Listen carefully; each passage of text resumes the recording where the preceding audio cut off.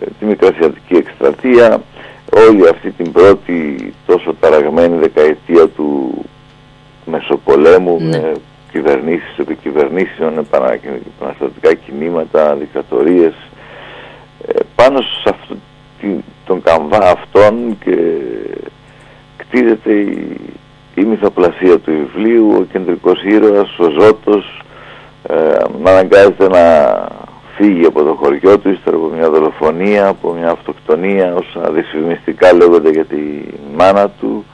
Καταλήγει στα Γιάννενα, εκεί δυσκολεύεται πάρα πολύ να βιοποριστεί, θα κάνει πάρα πολλές δουλειές, θα διαμείνει σε τρόγλες, δουλειές του ποδαριού, θα ζηλεύει το κοσμοπολίτικο περιβάλλον των Ιωαννίνων, τα πολυτελή εστιατόρια, τις χωρισπερίδες, σε ό,τι αυτός δεν μπορεί να ναι. συμμετέχει. Ε, μέσα στην πορεία του, η οποία βέβαια θα, έχει, θα, θα φτάσει μέχρι την ε, Μικρά Ασία για το βιβλίο, παρακολουθεί σε δύο κεφάλαια τη Μικρασιατική Εκστρατεία.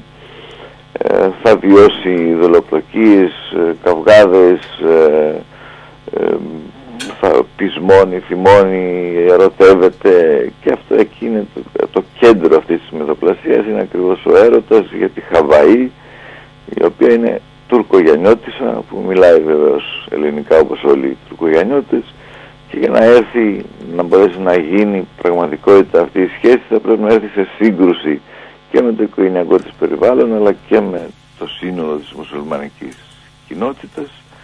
Πάρα πολλά εμπόδια υψώνονται σε αυτή τη σχέση, ε, διάφορες συκοφαντίες εναντίον της, ε, η ίδια η φυλή, η θρησκεία όπως είπα, ναι η ανταλλαγή των πληθυσμών και το θέμα είναι αν η ίδια η Χαβαή έχει αυτή την εσωτερική δύναμη να ορθώσει το αναστημά της και να ακολουθήσει τα θέλω της.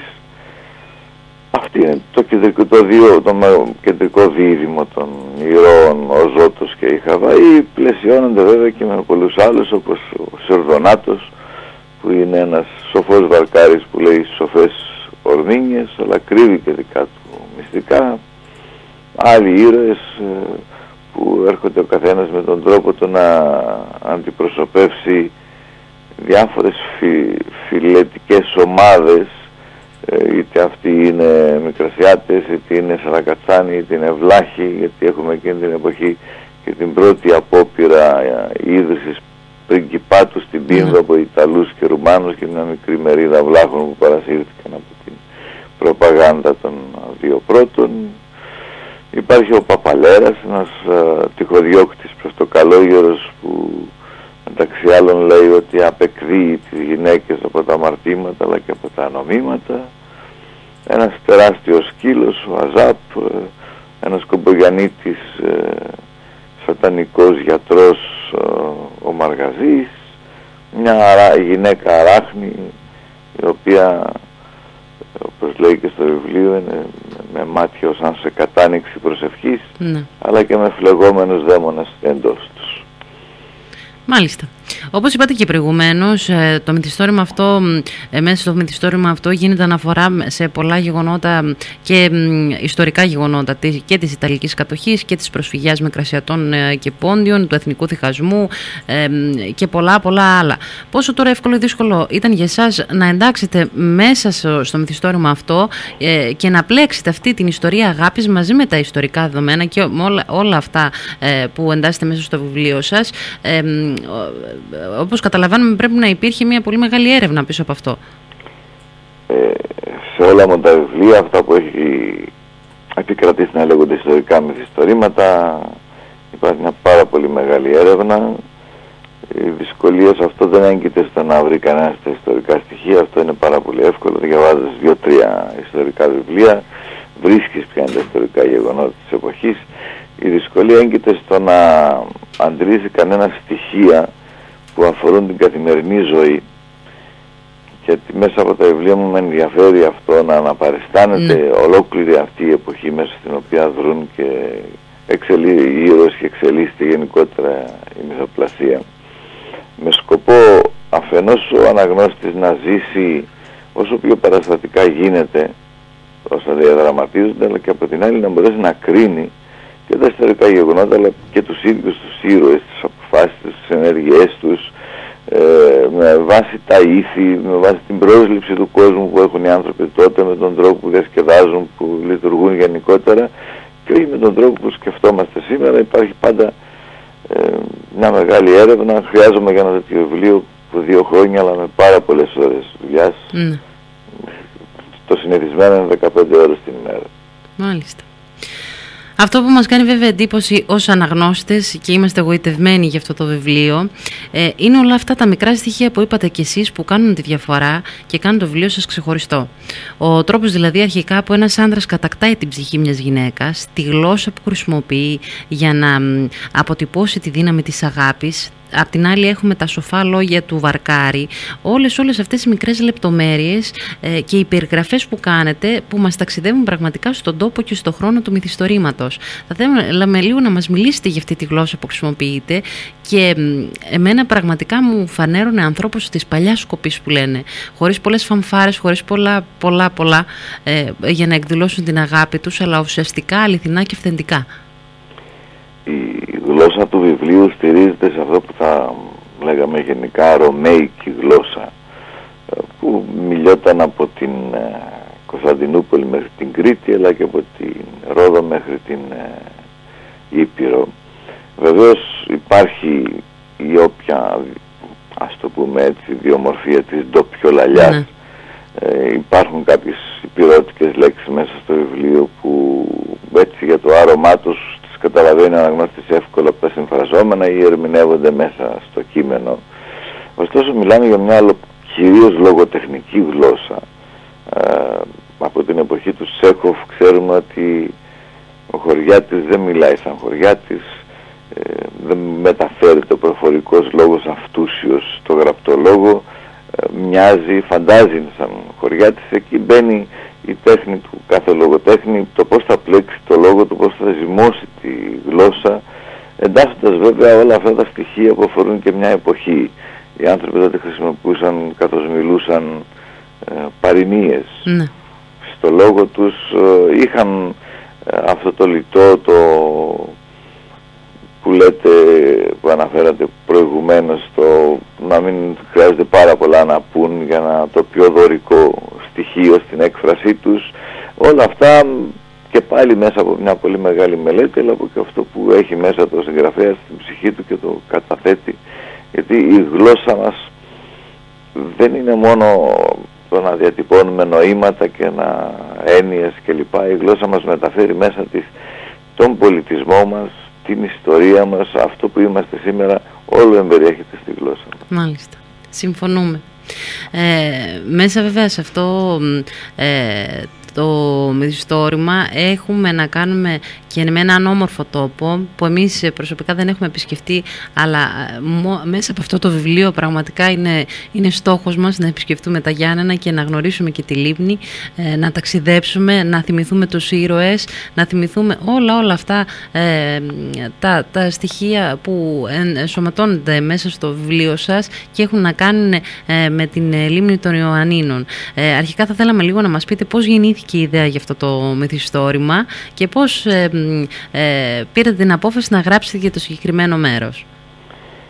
Το πρώτο θέμα που ξεκίνησα να μιλήσω, αυτό που με ενδιέφερε, γιατί πέρα από αυτό που είπαμε από τη μυθοπλασία, πέρα από την αναπαράσταση μιας χρονικής περίοδου, το βιβλίο αυτό έχει πολλά θέματα τα οποία μπορεί να μην φαίνονται έτσι στην, από μια πρώτη ματιά, αλλά καταπιάνεται με μια σειρά από πολλά θέματα. Το πρώτο θέμα που με ενδιέφερε ήταν η ταυτότητα του Έλληνα. Το ποιος δικαιούται να ονομάζεται Έλληνας, ε, τι θα έπρεπε να οραματίζεται ο Έλληνας. Αρχικά σκεφτόμουν αυτό το βιβλίο, για να είμαι ειλικρινής, να το τοποθετήσω στα Χανιά. Ναι. Γιατί ε, με ενδιαφέρει αυτό το πολυφιλετικό περιβάλλον που υπάρχει έτσι και αλλιώς και στα Γιάννενα όπου ζουν, είναι περί, περίπου παραπλήσιο με τον Χανίων, ναι. ε, Έλληνες, Οθωμανοί και Εβραίοι έρχονται στη συνέχεια πρόσφυγες ε, τη Μικρασία, την Καπαδοκία, τον Πόντο. Στα Γιάννενα βέβαια υπάρχει και, υπάρχουν κάποια ιδιαίτερες ακόμα ιδιαίτερες πολιτισμικές ομάδες Ελλήνων, υπάρχουν Σαρακατσάνοι, υπάρχουν mm. Βλάχοι, οι πρόσφυγες που έρχονται είναι ελληνόφωνοι αλλά είναι και τουρκόφωνοι αρκετοί από αυτούς.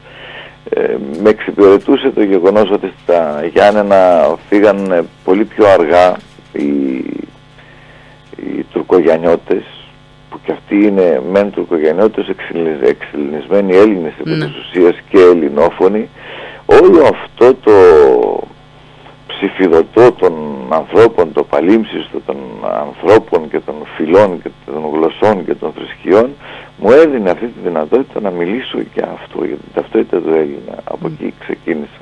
Μάλιστα. Πάρα πολύ όμορφα και σίγουρα ο αναγνώστης θα μείνει ενθουσιασμένος ε, γιατί όσο περνάει ο καιρός είναι και το, το, το συνέστημα που σου αφήνει ε, το κάθε βιβλίο. Μπορεί να μην θυμάσαι ε, πολλά περιστατικά, μπορεί να έχεις ξεχάσει ορισμένα, αλλά είναι αυτή η αίσθηση που σου αφήνει. Όταν ας πούμε, το προτείνεις σε κάποιον φίλο σου να το διαβάσει. Το ότι αυτό το βιβλίο είναι πραγματικά πάρα πολύ όμορφο, σίγουρα θα μάθεις πολλά πράγματα γι' αυτό, σίγουρα θα σε εντυπωσιάσει, σίγουρα θα ανακαλύψεις κάποια, κάποια πράγματα που σε ενδιαφέρουν. Και όπως είπαμε ε, μέσα σε αυτό το βιβλίο κρύβει αλήθειες που ορισμένοι ε, θα αποφασίσουν να συμπορευτούν με αυτές. Έχουμε λοιπόν το σοφό της Λίμνης, ο οποίος ε, πραγματικά εκεί που εξηγεί την ε, έννοια του το γυνάτι, είναι, πραγματικά μας εντυπωσίασε και θα θέλαμε λίγο να μας πείτε για τον τίτλο. το, το γυνάτι και σαν έννοια, αλλά και πόσο όμορφα το πλέξετε μέσα σε αυτή την ιστορία.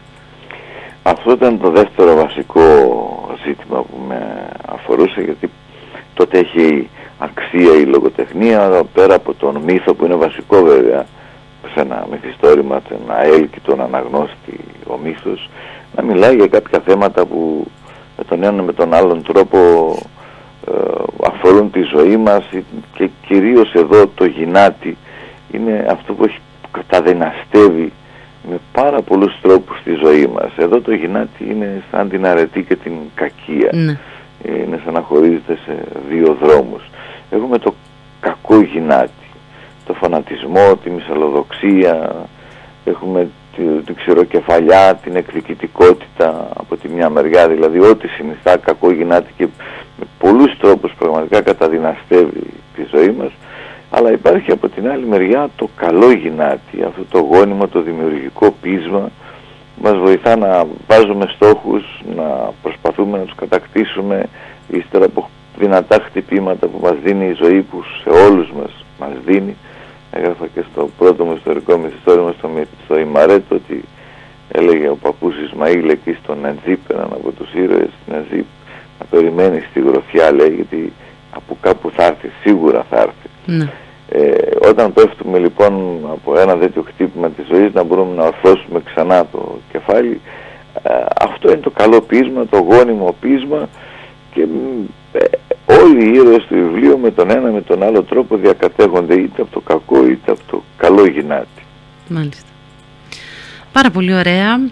Ε, αφήνουμε το γυνάτι και αφήνουμε και το σοφό της λίμνης και να ε, πάμε λίγο σε εσάς να μας πείτε ε, καταρχάς αν σας, πώς, τι απολαμβάνετε περισσότερο. Απολαμβάνετε το, την ιδέα της σύλληψης ενός βιβλίου, απολαμβάνετε τη διαδικασία της συγγραφής, απολαμβάνετε όταν τελειώνετε επιτέλους ένα συγκεκριμένο βιβλίο που θα πάει ε, στον αναγνώστη. Ποιο είναι αυτό το σημείο που σας εντριγκάρει και σας, ε, και σας κάνει να το απολαμβάνετε περισσότερο; Η μεγαλύτερη γοητεία της συγγραφής ε, θεωρώ ότι συμβαίνει γενικότερα για τους συγγραφείς αυτό, αλλά σε μένα οπωσδήποτε είναι η αγωνία μου τι θα γίνει παρακάτω.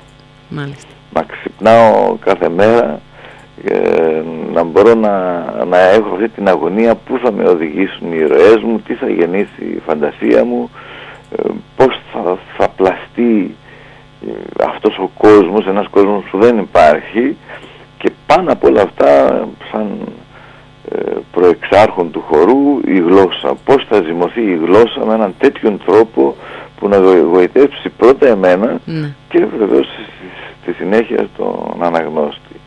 Αλλά και αυτό το τι θα γίνει παρακάτω είναι το ένα βασικό κίνητρο να θέλει κανείς να γράψει.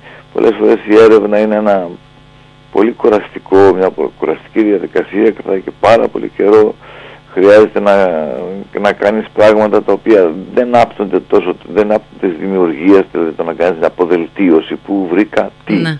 αλλιώς θα έχεις χαθεί, ε, οπότε η μεγάλη γοητεία είναι αυτό που είπα.